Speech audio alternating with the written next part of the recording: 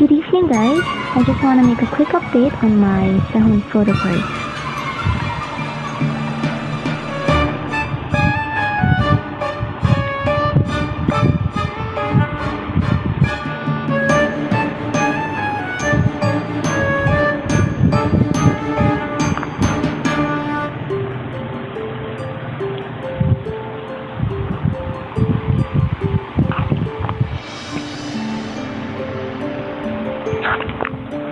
These are my extra sets.